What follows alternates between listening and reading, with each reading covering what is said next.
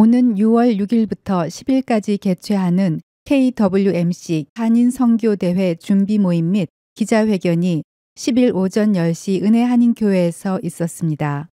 이날 한기용 목사는 사도행전 1장 8절을 본문으로 내 증인이 되라는 제목으로 설교했습니다. 한 목사는 설교에서 말씀을 전한다는 것은 목숨을 내어놓고 하는 일이었다. 바울은 엄청난 핍박 가운데서 목숨을 걸고 복음을 전했다. 이번 대회가 마가의 다락방처럼 성령 충만한 대회가 되기를 바란다고 말했습니다. 1부 순서가 통성 기도로 마무리되고 2부 순서가 김기동 목사의 사회로 진행되었습니다.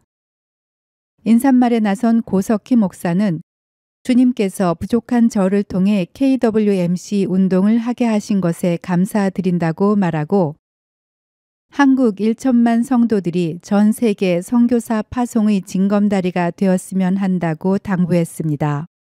고 목사는 또 성도의 수가 하향 곡선을 치닫는 이때 이번 대회를 통해 상향 곡선을 긋는 역사가 일어나기를 바란다고 말했습니다.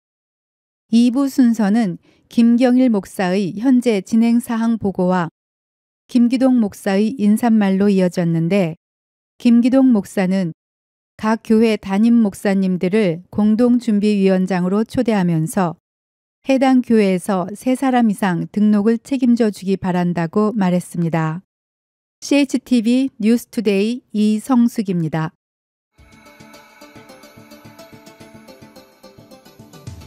CHTV 18.88 뉴스투데이는 유태인 특수 영양제 M3 셀라케어 제공입니다.